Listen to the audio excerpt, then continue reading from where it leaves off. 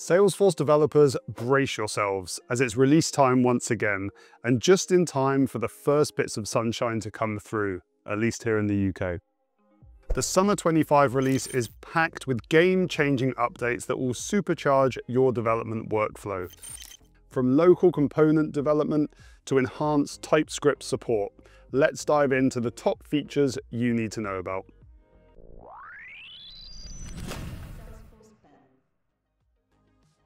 Local development for single Lightning Web Components. Starting in summer 25, Salesforce introduces the ability to run local development for individual Lightning Web Components. By installing the local development plugin, you can use the SF Lightning Dev Component command to preview a single component in a dedicated browser page. This streamlines the development process, allowing for faster iterations and testing. TypeScript support for Lightning Base components.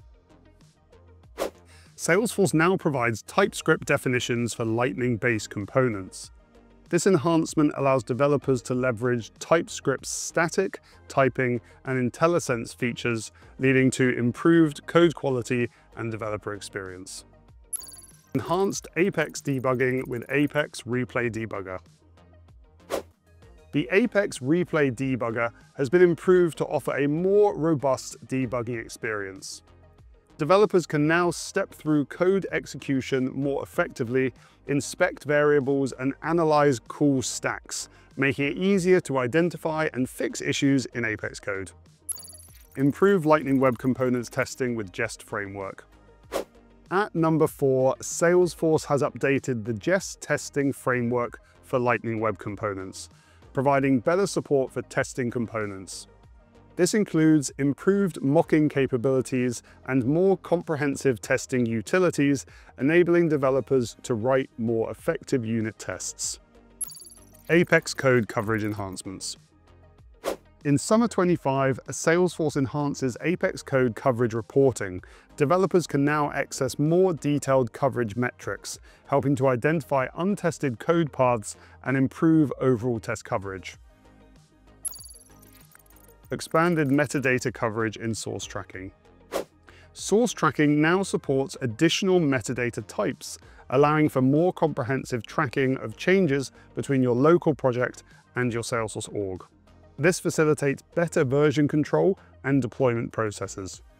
Speaking of metadata, where do you turn when you need a DevOps platform to help you out with yours? Well, that's where this video's sponsor, Prodly, comes in. Prodly is a Salesforce DevOps platform that enables fast, accurate deployment of data and metadata changes across Salesforce applications, including CPQ, billing apps, and the new Revenue Cloud Advanced. In fact, it's the first and only DevOps tool for Revenue Cloud Advanced, helping organizations navigate Salesforce's shift away from CPQ by offering migration support, implementation, and ongoing change management. Interested? Well, good news. To support companies planning their transition, Prodly is offering a free CPQ to Revenue Cloud Advanced Migration Assessment to get you started.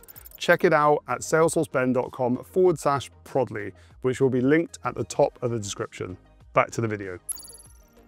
Improved experience with Salesforce CLI. At number seven, the Salesforce CLI receives several usability improvements in this release.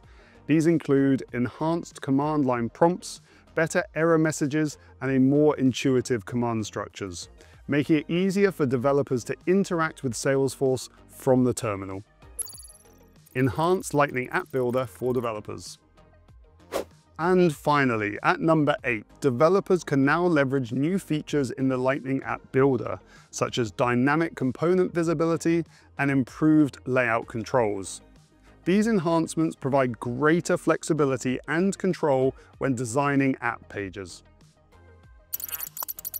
The Summer 25 release brings a host of powerful tools and enhancements for Salesforce developers.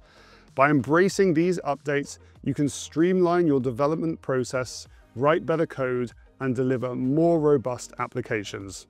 Stay ahead of the curve and make the most of these new features in your projects.